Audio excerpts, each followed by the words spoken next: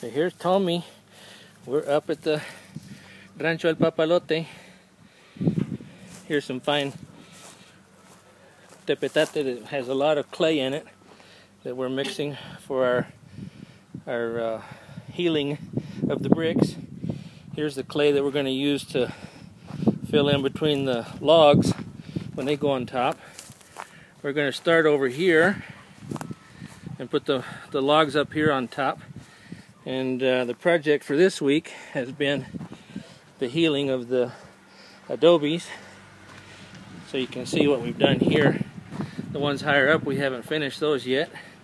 But here's the ones, the ones that were really in bad shape. We put a new coat on the outside, and the ones that weren't so bad, we uh, just healed the the filling in between them. And there's Jonas working away.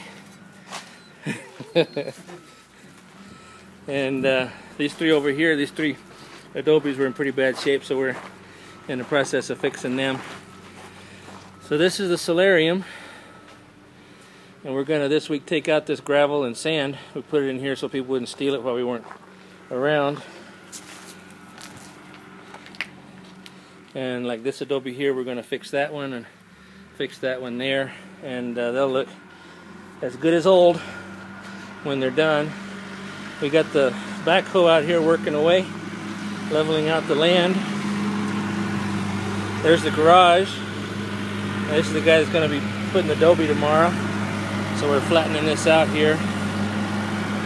So this is going to be the driveway here and the outdoor kitchen right over there.